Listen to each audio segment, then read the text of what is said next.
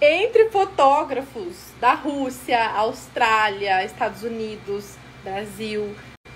Vocês têm que esperar aí, né? Eu esperei 15, mais de 15 dias por esse resultado. E foram 113 fotografias premiadas. Eu não falo que é 113 fotógrafos porque teve fotógrafos que teve mais de uma foto premiada. Então foram 113 fotografias premiadas com fotógrafos do mundo inteiro, internacionalmente, e dentre esses 113 fotógrafos eu estou no meio. Tá lá, a foto 77. Eu vou deixar o link para vocês entrarem, para vocês prestigiarem as fotografias de outros fotógrafos do mundo inteiro.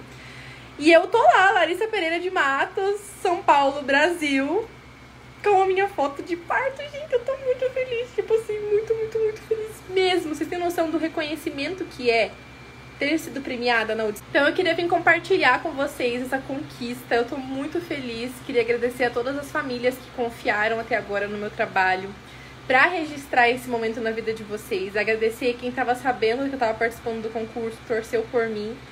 E compartilhar essa felicidade. Quero fazer um post no feed ainda mais detalhadozinho, assim, colocando e tal.